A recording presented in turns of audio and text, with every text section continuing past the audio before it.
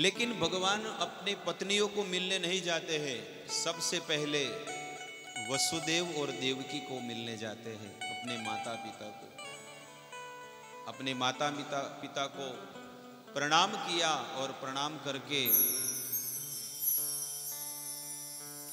भगवान श्री कृष्ण प्रार्थना कर रहे हैं कि इतने दिनों से मैं आपसे दूर था और आपका प्रेम और आपका शरण मुझे नहीं मिला। इस प्रकार से भगवान श्री कृष्ण अपने माता पिता के साथ पूरा समय बिताए। उनको तृप्त किए सुखी करने के बाद भगवान अपनी रानियों से मिलने जाते हैं। इस प्रकार से द्वारका नगरी में बहुत ही सुंदर राजपाट वे करने लगे।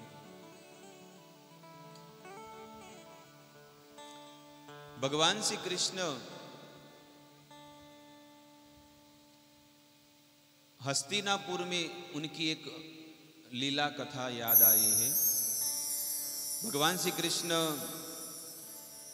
हस्तिनापुर में पंखो बंद कर दो ना ये पंखा बंद कर दो।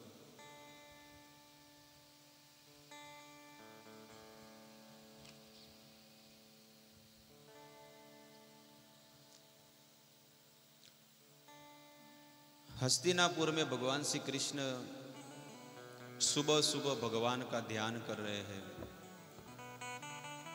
और युधिष्ठिर महाराज सुबह सुबह भगवान का दर्शन करने गए।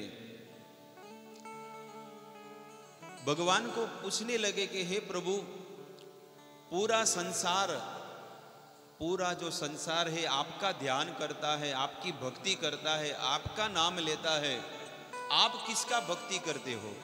आप किन का ध्यान करते हो? तब भगवान कहते हैं, मैं मेरे भक्त का ध्यान करता